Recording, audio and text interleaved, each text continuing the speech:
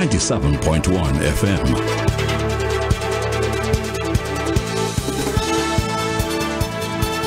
And welcome back to State Insurance and ZDK Morning Cup. It's Monday, the 8th of June. It's time for a happy start to the day, and we're talking to the Wadadli Challenge 2020 prize winners, well, two of them anyway.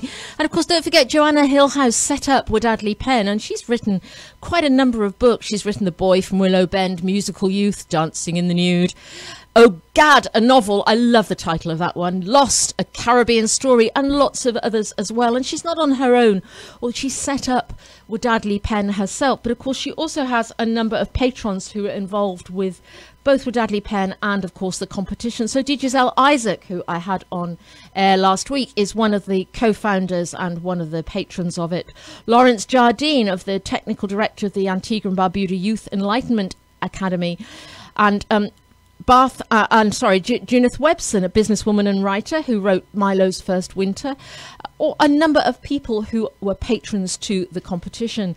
And my next guest is the winner of the next category. D'Chaiya Emmanuel wrote a poem instead of a story, but it's absolutely beautiful. Good morning, D'Chaiya.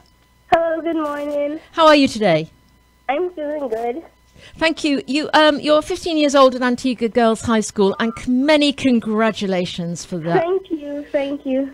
What, what, um, what prompted you to write the poem? Um, I really like history and going into, um, you know, people that came before us. Yeah. And uh, during one of my class in second form, our teacher was talking about um, the Amerindians and so on. And she was asking, she was saying, think, think how they would react, how they reacted when the Europeans came and just stole their land, how they reacted when they saw people with different skin, different, different hair types, different materials, and so on. And then it just inspired me because I remembered about it, and it just inspired me to write this this poem. Well, it's a beautiful poem. And what made you enter it in the Wadadli Pen Challenge? Well, the thing is, um, at first, I wanted to write a story about, you know, um, folklore, Yeah. but then that was always done, and I wanted to be different. And then for like a week, I was stuck on what I was going to write, and I didn't really know what I was going to write, and I just remember about that, and I said, yes, I want to discuss about our history before we came and so on. So yeah, that really got me inspired to write the story. It is a very beautiful poem, and you're quite right. It is different. You want to do something different. You well succeeded. And you're going to read it for us, I believe. Yes, ma'am. Thank you. Off you go then. Okay.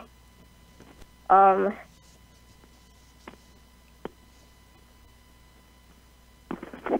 Sorry about my voice. it's, Uh, it's allergies. I have allergies. It's a perfect voice for this. Okay. Um. Roar, roar! That beckoning roar in the distance. How, how! It's coming close in persistent. What is it? I have no idea. Is it dangerous? It's that wretched noise I fear. I have lived in Wadadli for many years. I know the dance of the coconut trees, the cry of the quarreling wind and leaves, even the soft click of a twig snapping on the animal's feet. That sound, however, I've never heard nor seen. The gods are punishing us. Calm down. I knew I shouldn't have taken more than ten days. You're just in a daze. The end is upon us. Everyone needs to hush. Hush, my people. Do not fret, do not cry.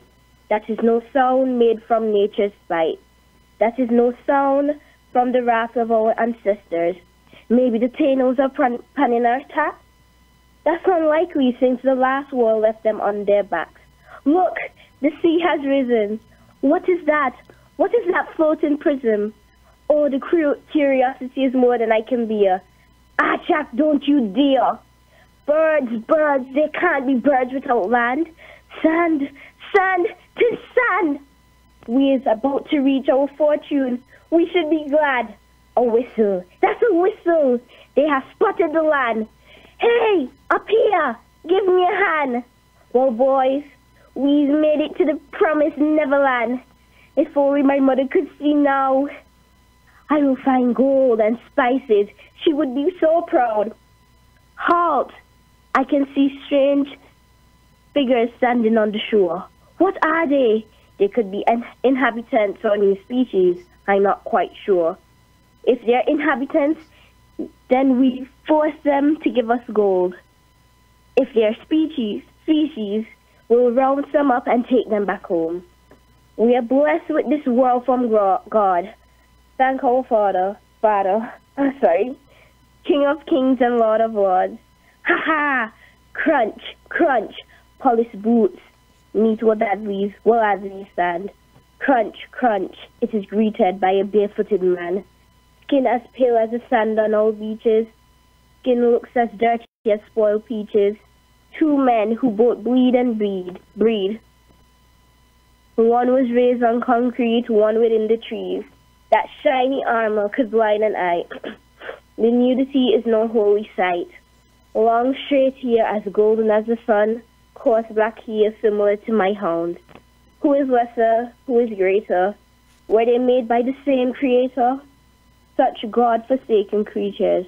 They have come to lead us. Life and death does not discriminate.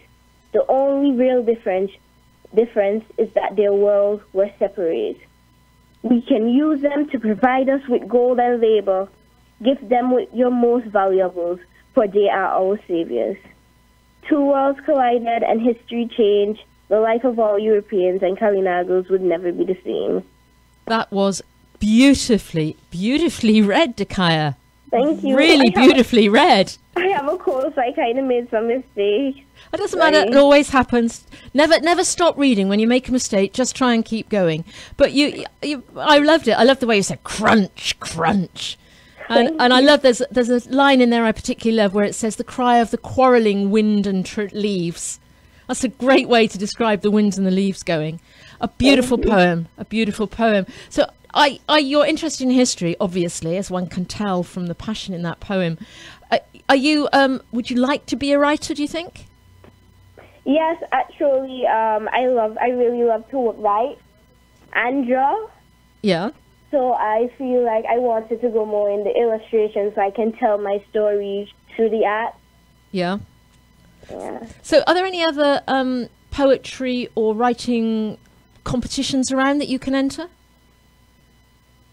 Um, I'm not really sure. I'm really I I'm not new to all the com. I'm well. I'm actually new. I'm new to all, all the competition things, and it's usually my teachers that send us the types of competitions and so on. So I'm not sure. well, you certainly uh, you really have a talent for poetry, and there's some beautiful, beautiful um, rhymes and, and rhythm in that. That's absolutely lovely. I, I'm a bit of a poetry fan as well. Um, I, I'm not very good at writing it, but I love reading poetry. So um, I particularly enjoyed reading yours. It, it's Thank you. some real, just some real things. Have you? Do you know the word? Um, it's a horrible word. Onomatopoeia. Have you heard the word onomatopoeia? Yes, I have. And it's all about when a word sounds like what it is. And you've got a lot of that in here. You've got things, you've got um, a chack, don't you dare, and crunch, crunch. And it, and it really makes things, poems, brings poems to life. And Yeah. especially when you read it as, as beautifully as you did. I mean, you really got the, um, the, the sounds in there. So thank you so much for that. That was absolutely lovely. And what about you? When Are you back at school yet? Are you doing, you know, is it too early to do your XC? X exams, CXC exams. Um, I'm not doing CXC this year. I'm in fourth form.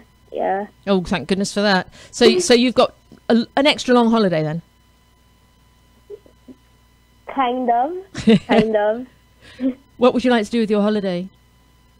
Mostly improve on my drawing skills. You like drawing as well. You said you like drawing the pictures. Well, I, I do a little bit of drawing, and um, as a ZDK prize to you for this, I'm going to draw you a picture from your poem. Um, it probably won't be as good as yours. I'm not a brilliant artist, but uh, I'm going to draw you. A I will send it to you when I finished it. It'll take a while. A picture from your poem, and that'll be our ZDK prize to you for beautiful poem and many, many congratulations.